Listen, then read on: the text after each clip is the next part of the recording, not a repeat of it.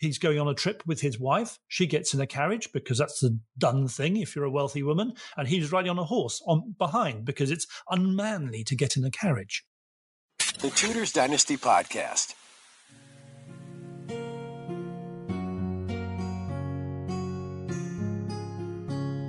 This is the Tudors Dynasty Podcast. And now, Ask the Expert with Steph. Hello, and welcome back to Ask the Expert, where our expert guest answers questions from you, our listeners. I'm your host, Steph Stohrer, and I'm here today with our friend, the brilliant author and historian, Ian Mortimer. Welcome. Oh, thank you very much for asking me back. Of course, we'd love to have you. So today's topic is so interesting and we've got a lot to cover, but we're going to and so we're going to discuss actually the the speed of information and travel in the 16th century. So this is something that's so interesting and we got a lot of questions to get to.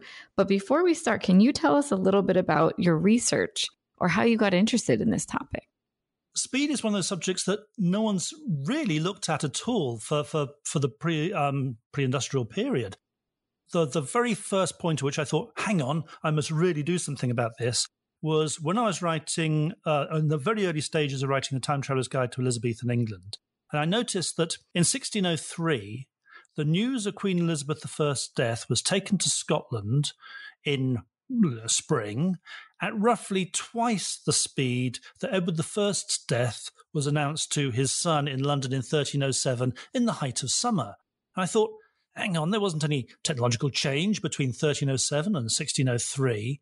How was it that that piece of information, which you can define as equally urgent, was taken so much more quickly to Scotland and uh, in 1603. And so I, th- I, started looking into speed at that point, and I had already had a sort of passing interest in it, collecting dates from Middle Ages on uh, how fast people could travel. And then I started sticking it all together, and I realized that the whole medieval period, and I mean in, in, into the 16th century too, just saw a greater and greater quickening of the speeds at which news and people could travel. So that's when I started to get excited because when you realize you know something that nobody else does, that that is really what what it's all about as a researcher. So, what did you come up with as the answer to to that question? Oh well, that's a very long series of answers. Um, there's definitely a, a philosophical change in how speed matters. Things that facilitate it are you know, better bridges, pretty obviously, better roads, pretty obviously, um, better bred horses, slightly less obviously. But the real infrastructure is the organization. How many horses have you got available to choose from? How often can you choose them? Who is paying for cho- uh, sending them along? And most of all, it's the shift to clock time. In the earlier Middle Ages, people obviously had a, a vision of time that was God given 12, 12 uh, uh, daylight divided into 12 in the um, uh, in summer was uh, an hour twice know, an hour was a twelfth of the daylight so an hour in summer was then um, twice as long in summer than it was in winter when they introduced or when the the powers that be under edward iii introduced clock time in the 14th century they shifted to a, a sense at which people regulated their, their days much more because you could with the bells ringing out on the mechanical hour. And it's Edward III, in fact, who brought in the, the whole idea of stages and uh, royal messenger services. So, uh, and speedy royal messenger services. So it's really the organization and the means to pay for it that make everything change. I want to touch on something that you just mentioned about the royal messenger services. Uh-huh. One of the questions that we received from that we received from our listeners was actually about these messengers. Who were these royal messengers, and is this is this a career that people aspire to be? Oh yes. Or did people just find someone and say, "Okay, I'd like you to start, you know, sending my my messages for me"? if you can afford a messenger to spend his time taking your message and you're an important person, obviously you're an important person if you can afford to employ somebody on that service and pay their all expenses, then you don't trust your messages to just anybody. In fact, news and important messages like that are some of the most um, valuable things, although it's not really a thing, uh, that you could entrust somebody with your secrets. So, no, you're not just going to find somebody and uh, send them off the Royal Messenger Service was started I can't remember exactly when, but it goes back to the 13th century. And there were two sorts of messenger a foot messenger and um, a, a rider. And the difference was not their speed, it was their status. So a foot messenger would take low status royal messages and a rider would take high status royal messages. So if a king was writing to a bishop saying, Get here now, I need your advice on something, it would obviously be taken by a rider as quickly as possible if he was just sending a message to, uh, um, I don't know, one of his uh, manorial administrators somewhere, it may well go by a foot messenger. So there is a long tradition of um, the royal messenger service. Uh, some lords did have their, their, their me- no, messengers as well, their trusted household servants. But these were normally people within the household doing general duties. The royal family, or the English royal family, is quite quite um, unusual in England in having a, a dedicated office. And when you're when you ask, was this a career for life? Yes, it was. Uh, the people, I mean, sometimes people came in from non-royal messenger service, you know, serving, I don't know, John of Gaunt, something like that, brought into the the royal uh, um, messenger service because precisely they what they knew. They had travelled to Avignon so many times, they knew the best routes, so they they would. Um, therefore be uh, knowledgeable people you trusted to get there quickly and efficiently and also with great tact and diplomatic um, uh, skill. Because if you're taking the king of england's message for example across france um, it's dangerous. Was it was it always dangerous or was it ever as simple as hopping on your horse or you know, setting out on foot, depending on what kind of messenger you were, and then just going somewhere? Was there always the fear in them of some kind of danger? I mean, there's there's lots of dangers. I mean, just in England, routine messengers are travelling. Normally, they travel in pairs. Um, so the Royal Messenger Service they travel in pairs. So they uh, have somebody to, to watch out for them, and also so an older man can teach the younger one um, which ways to go um, and basically how to do the job. Um, traveling abroad, gets very dangerous. In England, you've got highwaymen and things like that. Crossing the seas, you've got you know, wreck pirates, whatever. On foreign territory, you could be arrested as a spy because you're a foreigner on foreign territory traveling fast with uh, important information. So, although most messengers travel quite um, with without any problem, you know they are constantly on their guard and sometimes they don't reach their destination um, safely. And also you have to remember there are a few and going back again to the middle ages this is before 16th century i'm afraid but there are there are some people who deliver unwanted information to somebody and either are made to eat the letter they have just delivered or or worse happens to them. So it's not a simple job being a, a messenger because you're only dealing with important information for high status people, and that can uh, uh, get you into all sorts of difficulties. Now, I know you had said that there was really the two different types, foot or rider. Was there any water travel happening? Or I'm sorry, water well, travel and delivery yep. happening. Yeah, I mean, this is uh, people who knew the routes of England and the new routes of France, going to Avignon, for example, from the Middle Ages to see the Pope or Rome, or, or going across to, to Germany, they they knew which ways to go. So they knew which roads to take. They knew where to hire horses. They knew when to get off the horse and then take a boat. Boats could, um, in certain areas, travel really fast. Um, in England, the uh, well, the obvious thing to look at in England is the, the the, the Thames, the Thames estuary. Parts of the Thames estuary do move very, very fast when the tide is going out and there has been a lot of rainfall. So, if there's a lot of water coming down the river anyway, and it combines with the tide going out, then sometimes some parts of the river can be traveling at eight knots, so eight, eight, nautical miles um, uh, per hour. Now, if you've got a waterman on there who can, you know, row a skiff at four and a half knots, um, then you can put those two together. You could be traveling at uh, well, uh, well, 13 miles an hour. It really works out as. Um, there's no way you can travel uh, 13 miles an hour um, for a protracted period uh, on land, um, except in some extreme extreme circumstances, there are some riders who can do it with a change of horses, but it's really, really expensive if you're doing it by horse on land for any distance. If you're traveling down the Thames from, um, from let's say Windsor, you're going from a, a, a part where the river is just the river and then into the estuary. And if you happen to get the the spate, the the, the, the, fastest moving water rather, um, you could travel very fast. But of course, it's only that narrow bit of the day when you're traveling that fast on the water. Um, I don't know if you realize, but estuarine rivers, they start moving faster and faster and faster until midway through. And as they get nearer the high tide or the low tide part, they start to slow up again. So it's only for a short while that you're really traveling at that speed. But even if you're just going down, um, down the Thames and it's going at half that speed and you're rowing hard, then you're traveling much faster people would do on the roads. Of course, the rivers don't always take you where you want to go. That's the problem. You know, you have to go where the river goes. Um, whereas you can change direction on land much more easily and have, in many ways, a more efficient journey.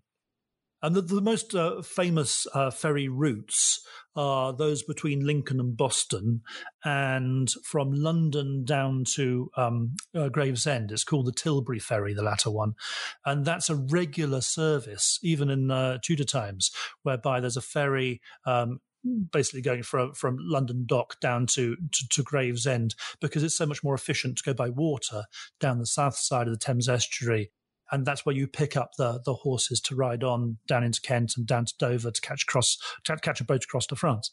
So there are regular recognized ferry routes, um, but the, your messengers they would have uh, recognized routes all over the country involving all the major rivers and knowing where to hire horses.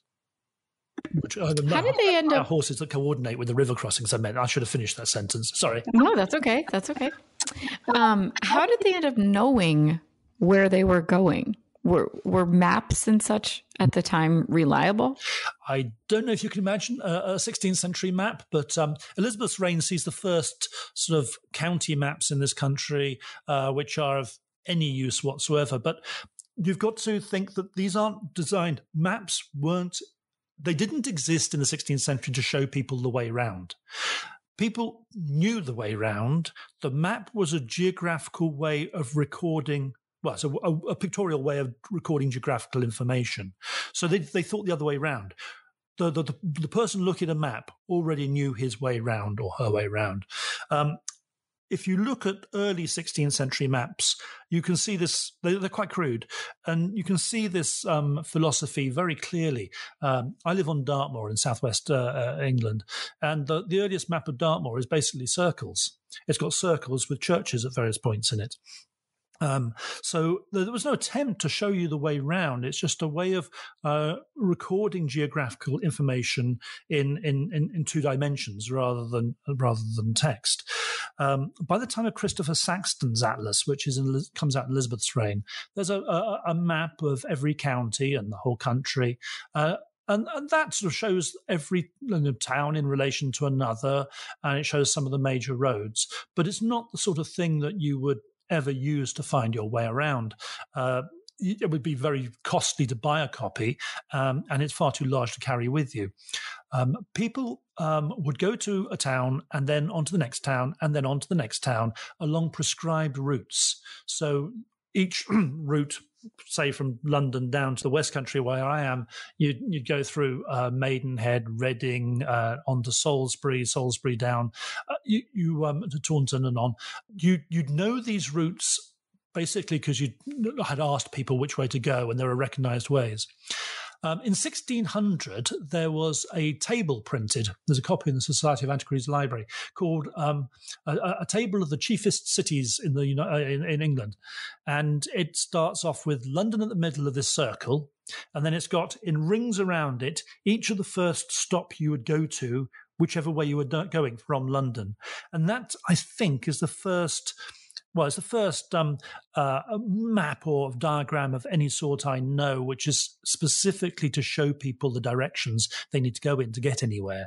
Um, other than that, no, you, you would find your way by know, doing what the messengers do and actually learning the routes or asking directions. We keep mentioning the word road in in our conversation so far, yeah. and I want to just clarify for everybody what what a road would have looked like in the 16th century because obviously they're not, you know, paving roads, but they're not necessarily only trekking through, you know, grass or something like that. So how did a road come about? Uh, about 3,000 miles of the ancient, um, the, the Roman road system survived in use in England in the Middle Ages through to the 16th century. Um, if you've been on part of that, if you come across any stones left from that Roman road, they really wouldn't have helped you at all because they'd be so worn down and uneven. They just got in the way. Most highways were pretty rough. Um, the the key to understanding the improvement of a road system is wheel transport because people can walk over and horses can ride over pretty rough land. So most roads, and when I say most, I mean well in excess of 99% of the roads in this country in the 16th century would have been basically mud. Mud, and where something got too muddy, they'd have put down a lot of gravel to try and um, uh, dry it up uh, and make it passable. But the vast majority of roads were really in a bad way. Um, in some areas, uh, notoriously um, areas of clay, people would look at a road as somewhere they could just dig up some clay in order to repair their house. So I mean, there are instances of people drowning in puddles they walked into inadvertently as they'd gone along a road. Didn't see a, a, a great big hole there because it was just a puddle. Stepped into it, fallen in, knocked themselves out, drowned in the drowned in a road some roads, uh, certainly in the Middle Ages, were that bad. Um, 14th, 15th century, you have records like that. In the 16th century, there were mid, uh, in the mid 16th century, there were attempts to get the roads sorted out. Um, but it's only really when uh, wheel transport, as in wheeled um, passenger transport comes in in Elizabeth's reign, that people start to uh, take this a bit more seriously, improve roads. Uh, very, very few towns have any paving whatsoever. It's it's pretty muddy in towns too, as well as the roads between them. I just want to circle back now to the messengers. I know we kind of started talking around that and got off on a little tangent there, but that's good because we answered a lot of those questions. but back to the messengers. Yeah, yeah. Uh, we had said that that you know the royal messengers people had access to a a hired messenger for themselves. But as far as kind of the layperson or someone of lesser status, would they have access to messengers so that they could get news or information to to others that were far away if they didn't have money? So I'm almost thinking of kind of like a postal service, but not really. Does that make well, sense? No, no, postal service, really. I mean, when I'm saying messengers, I'm talking about people who would be entrusted to carry messages themselves. The, the, there is a postal service set up in the early 16th century. Um, the to explain what a post is and where the word comes from, it's uh, basically postal stations for a, a, a, a relay. So um, the earliest I know in this country is one that Edward IV set up to uh, bring news from Scotland as quickly as he possibly as it possibly could be brought here. Um, I can't remember which year it was, but anyway, he set up a postal service to bring news from Berwick on the border of Scotland down to London in a matter of 10 stages uh, or 10 posts. King's um, Henry VII set one up to tell him when uh, Catherine of Aragon had landed, and there are, there are specific ones set up for specific reasons, and then you'd have a, a messenger riding along those post, post stations. In I think it's somewhere around 1506. I don't think we actually know the exact date, but um, Henry VIII set up a, a, a, master of the posts and um, a man called Tuke, I think his name was, and he was to supervise the king's posts on a permanent basis between Dover and London, and London and Berwick, so Scotland, really. Um, and these were set up right in um, Henry VIII's reign. Now, on that level, you could pay to ride with the post. I seem to remember it cost three pence per mile, and you had to pay the post boy uh, sixpence to take the horse back. That sort of postal system is a, a, sort of messenger system, but it's designed to carry things for you. So your important messenger might ride with the post boy, but most of all, it's for taking government packages and government um, routine letters.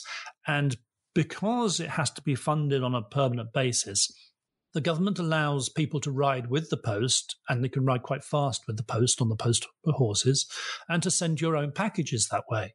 So, as long as you're not a pauper, as long as you're prepared to, to make that investment, you either could ride with the post, in which case you can go quite fast, um, or you can send a letter with the post. You can't send a letter with the post unless there is also a royal package going with it. Um, but if there is in the 16th century, your, your, letter can go with it too. And this is the origin of the postal service. In Elizabeth's reign, there's another line down to uh, Plymouth and then um, up to Holyhead to go across um, to Ireland through Wales. And that last one's made permanent from 1598. Um, so by then, you've got a network of uh, postal routes uh, developing. Um, it's not as complex as we have uh, as there was on the continent, where there's m- much better postal networks. Um, but England has started and developed it over the 16th century, and by the end of the 16th century, um, you could be, you know, Thomas Platter puts in his diary how he rode with the post down from Gravesend to Canterbury and did the, the, the 50 mile stretch in um, five hours. Um, you know, he's riding at 10 miles an hour. That is pretty fast for road transport in the 16th century. Now, imagining we're we're discussing then the people that you know, as you said, are not necessarily paupers. They found their means to have somebody ride with the post, with the royal post. Where did they? How do they know where to deliver the letters? Because you know, if if you're giving a message to a castle, then that's pretty easily identified, right? Yeah. But were there for the for the lower the more common people were there you know addresses did people's homes have addresses like we know them or no. how would they find where they're going no but the common people generally well, the majority were illiterate so you wouldn't be sending them a letter anyway um, you don't have that need to write to people um, who are not of a reasonable status. They're not going to be part of a, a, literary culture in that way. They might read the Bible, but they wouldn't necessarily expect to receive letters or send letters. Um, to, to, to, look at towns, um, the larger cities, so a city of you know, size of Exeter with about 8,000 people in it in the 16th century, that is a city that had names to its streets. Much smaller than that, Probably not. I mean, some some towns of three to four thousand people uh, might have had some streets named, but probably not all. And towns of two thousand people probably didn't have any names to their streets. So you had to arrive there and then ask, "Where is uh, you know John Smith's house?" or whatever. If you were taking somebody a letter, um, in towns also people regularly stay at inns or ask for you know, things to be deposited at inns for them. So when you look at um, letters, I'm, I'm, quite interested in Shakespeare things. So uh, when you look at letters from um, the, the, people of Shakespeare's time, often people are staying in London, and you will see a letter addressed to a certain person at a certain inn in a certain parish um, or in a certain street in London, because London streets were named. Uh, you wouldn't have an address as such, but the vast majority of people did not need an address for the very simple reason they weren't going to receive any letters. I just want to shift gears slightly now because I know that our topic today is um, information, obviously, which we've covered a little bit about already, and travel. And we've gotten a few questions from our listeners about travel and what it was like to travel back in the 16th century.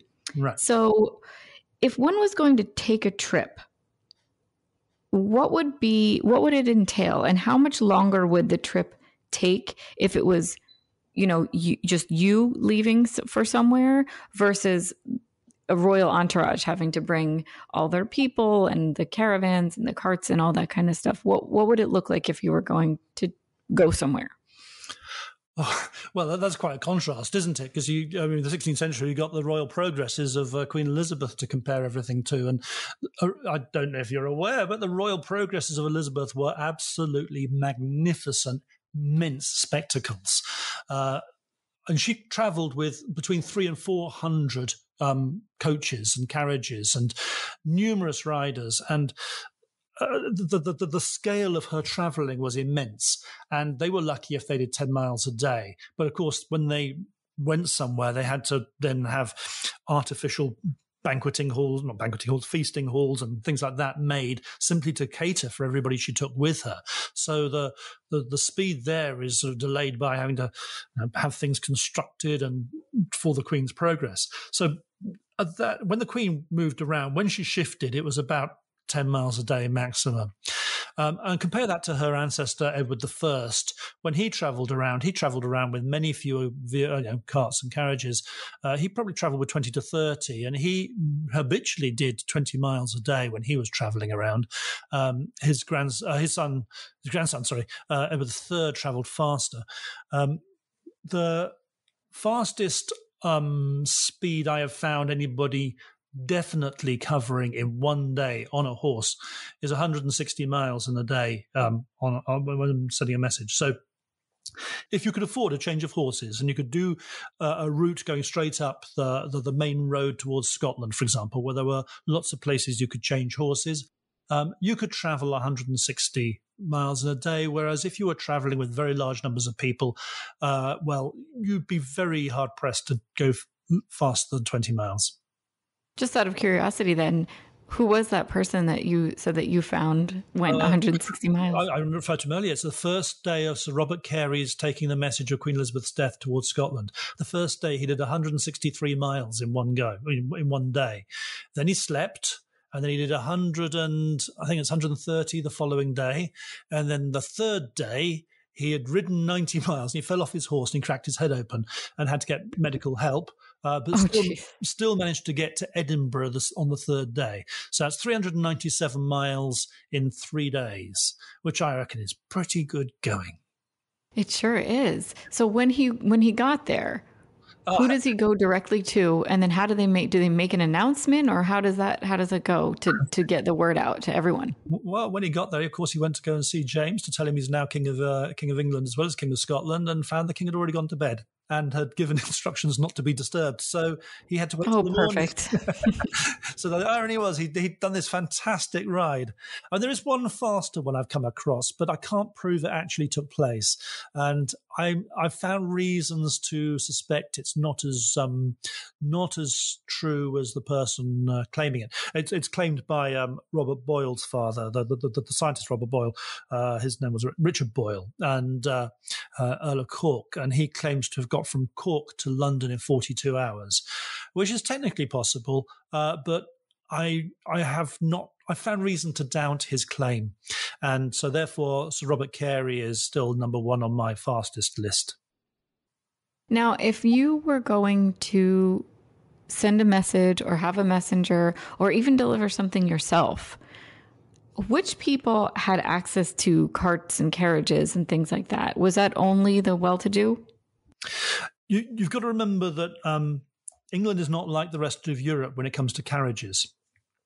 And not all of England uses carts. I mean, where I live, we didn't actually have any wheel transport until the very end of the 18th century, uh, because this hilly area uh, is just not conducive to using wheel transport. So farmers used uh, pack horses, and people who needed to transport um, well, people of high status on the whole didn't come here. So you've got to have a different idea from thinking, oh, everybody's in a carriage or, or using carts. In uh, the flatter central parts of England, yes, carts were used regularly for farm work and wagons were used regularly for farm work, but of course, those don't travel very fast. Um, carters did go between towns carrying things, so you would have slow moving carriage wagons, rather, going from inn to inn down some of the, the, the, the main roads, cart, um, carting things around for people. But you wouldn't have traveled with those yourself. It's really just for, for sending stuff. Um, access to carriages.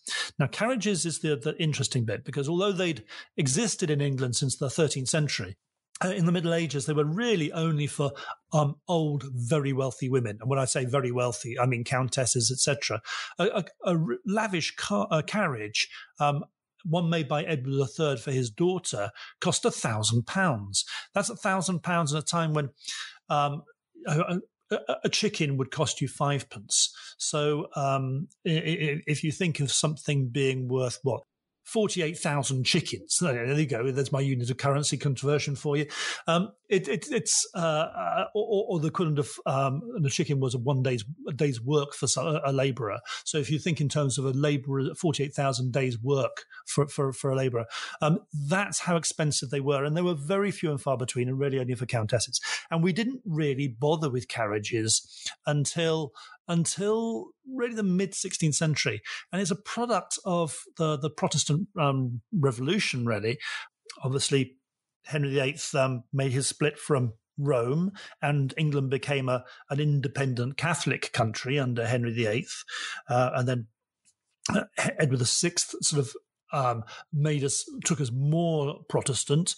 Um, and under Mary, we reverted to the Catholicism under Mary, a lot of the Protestant people who'd been enthusiastic supporters of Edward VI and his Protestantism went across to places like Antwerp, um, where they realized all these uh, uh, Protestants and uh, people in the continent, in the Low Countries, and in Germany, they're all driving around in carriages. How civilized! So a lot of those families, when they came back to England under Elizabeth, uh, they thought, well, we're gentry, we can afford it, we're going to have carriages made for us the initial reaction in this country was that, okay, that's all right for women to do that, but men ride. And you have ludicrous situations in Elizabeth's reign where you'll be looking at, uh, um, you know, Sir William Cecil, for example, Secretary of State. He's going on a trip with his wife. She gets in a carriage because that's the done thing if you're a wealthy woman. And he's riding on a horse on behind because it's unmanly to get in a carriage. Um, that fades out over the course of Elizabeth's reign. But you've got to remember that this is a slow thing over Elizabeth's reign. And also before Elizabeth's reign, we really didn't have any carriages. Hence the appalling state of the roads, because it's only when you've got wheel transport, you need that steady surface to make it comfortable for the people inside. So access to carriages yeah, virtually nobody apart from the wealthy before Elizabeth's reign, and I mean the very wealthy. And in Elizabeth's reign, you need to be pretty wealthy to, to, to have a carriage it's not so much the carriage it's um, the, itself by this because they made them much cheaper in Elizabeth's reign. It's the horses to pull it, feeding all those horses and stabling those horses in towns, the destinations you want to go to, is really expensive. There are quite a lot of um, inns in in bills I've seen where it cost more to um, look after four horses for the night than it did the the gentlewoman um, traveling and her servants. Well, isn't that interesting? That's that's such an, an interesting look at at why the roads kind of became what they became, and and how the carriages ended up in England. I love that. Thank you. Yeah, right. My pleasure. Yes, of course. So now, before I let you go, I know that I want to uh, keep you here for just a few more minutes because I want to give you an opportunity to tell all of our listeners about your new book that's coming out. I know it's very soon, and you've done such a great job of answering all of our questions, and we want to be able to support you. Um, so tell us about it. All right. Okay. It's called Medieval Horizons, and it really comes. Um, it's being published tomorrow. That's a good thing. So tomorrow morning, I'm heading up to London and going and launching it in Southwark Cathedral. Um, it's Medieval Horizons. Why the Middle Ages matter, and it's a long Middle Ages because it's not about it's not trying to tell you about the Middle Ages, etc. It's trying to make you think about the past differently. Um, it, it, comes from basically my activity as a practicing historian, going around talking to people, and and I noticed when a book of mine came out called uh, "Centuries of Change," which looks uh, changes over the last ten centuries, that a lot of people presume that change is technological, and that before the 18th century or before the the scientific revolution of the 17th century, things didn't change very much, and I noticed that um, a lot of serious historians like Yuval Noah Harari and A.C. Grayling and uh, and uh, Ian Morris and people like that were using this whole idea of technology to say that nothing really happened before the, the scientific revolution, and and I, I couldn't help but feel this is just fundamentally wrong, and I found myself slipping in over and over again in talks I did to, to, to, talk about this. And eventually it all coalesced into a whole series of um, examinations about how much changed before technology, how we went from a, a, society in Europe which was dominated by war on a daily basis to one where we think, like Erasmus and Thomas More, that war is a bad thing and only to be, to be avoided at all costs, or how we go from living in wooden single story smoky huts to living in fantastic um, residences like Hardwick Hall or, or, or, Hampton Court Palace or places like that, you know, fine uh, buildings which have stood the test of time. Um, so I look at lots of uh, themes from the 11th century, which was pretty grim, let's face it. 20% of the population where I'm living now was enslaved, enslaved in the, the 11th century, and how we you know, gained our freedom, got better living conditions, and how ultimately we end up with a society which is very well represented by William Shakespeare, who we often say speaks for us. And yet he knew nothing about all this technology that's come since. So I look at how the Middle Ages really formed the mentalities and the ways of life we expect in the Western world now. I think I'm I think I'm sensing another guest appearance on Tudors Dynasty for you, Ian. I think this is going to be a great topic. So I really look forward to reading that again. Everybody, it's called Medieval Horizons: Why the Middle Ages Matter, and it comes out well tomorrow. But that means that by the time this airs, it will be available. And where do you think everyone can find it? It's only being published in England and Greece at the moment. Greece has decided to get to publish it, but um, England, uh, as it comes out tomorrow, and I think everybody's waiting to see because no one knows what this book is like because like all my books it's um, unpredictable. It's not a normal uh, theme. It's not a normal approach. So i think everybody's waiting to see how it does here before they launch in and think whether it'll be an american edition or a german edition or whatever well, I'll do whatever I can to get you over here. I'll pull all the strings. Okie dokie. Thank you very much. thank you so again. Thank you so much for being here with us, Ian. Thank you so much to our guest, Ian Mortimer, um, and our listeners who wrote in with all the questions. Of course, as always, we couldn't do it without you. And to everyone listening to this week's episode. As always, we appreciate your support and we hope you'll tune in again next time as we continue to ask our experts the pressing questions you want answered. And of course, if you love the Tudors Dynasty podcast and want to show even more support, please consider becoming a patron, where you'll not only receive the great content we offer now, but extra insider research, information, prizes, and other exciting opportunities only offered by subscribing. Until next time, thanks for listening. Thanks for listening to this episode of the Tudors Dynasty podcast. You can follow and support the Tudors Dynasty podcast on Facebook, Twitter, Instagram, and Patreon at Tudors Dynasty.